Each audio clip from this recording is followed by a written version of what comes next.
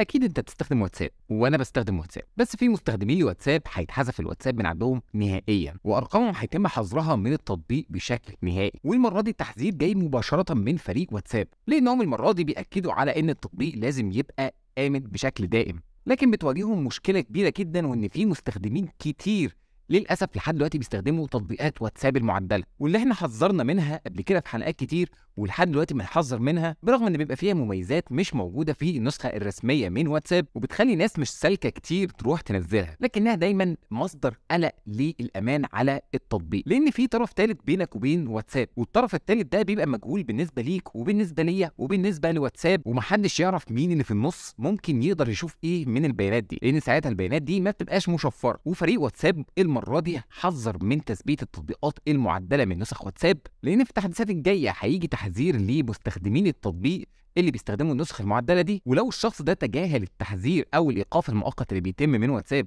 عشان هو بيستخدم نسخة معدلة ويكرر الموضوع ده تاني ساعتها الرقم ده هيتم حظره نهائيا من واتساب ومش هينفع ينزل تاني واتساب بالرقم ده. وساعتها ما تسألش على حل للموضوع لأن ساعتها بيبقى حظر نهائي. فلو أنت من مستخدمين تطبيقات واتساب المعدلة هيجي لك تحذيرات في الفترة الجاية إن أنت لازم تحذف التطبيق. ولو تجاهلت عملية حذف التطبيق ده ساعتها هيتم حظرك من التطبيق بشكل نهائي. وللأسف مش هيكون ساعتها ليك أي حل إن أنت ترجع الرقم ده يشتغل عليه واتساب. وهتفقد طبعا كل الرسائل اللي أنت كنت بتبعتها أو بتستقبلها. واكيد مش عشان حبة ميزات إضافية موجودة على تطبيق معدل تخاطر ببياناتك اللي أنت بتبعتها لاصحابك أو بتبعتها لحد ممكن يكون عزيز عليه لأن البيانات دي ممكن يكون حد بيشوفها في النص وممكن يستغلها في المستقبل. وبنشوف ناس كتير بيتسرب لهم صور وفيديوهات على النت. فادخل دلوقتي حمل النسخة الرسمية من واتساب. ولو أنت مثلا عايز ميزة تحميل حالات الواتساب بتاعت صحابك على النسخة الرسمية ما تنساش تشوف الحلقة اللي ظاهرة قدامك دي.